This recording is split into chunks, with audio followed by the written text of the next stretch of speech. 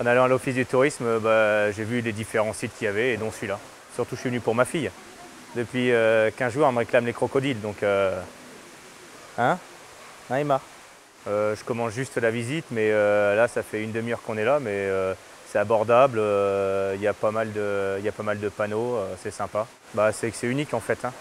C'est unique. il n'y a, pas beaucoup de sites, j'imagine, en France où il y a des crocodiles.